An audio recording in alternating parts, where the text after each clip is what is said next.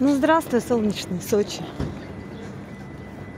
При посадке сказали, что здесь 0 градусов. Нифига не 0 градусов, все плюс 10. Теплынь, солнце светит, красота. Короче, я прошла мимо автобуса, который мне нужен. Как обычно.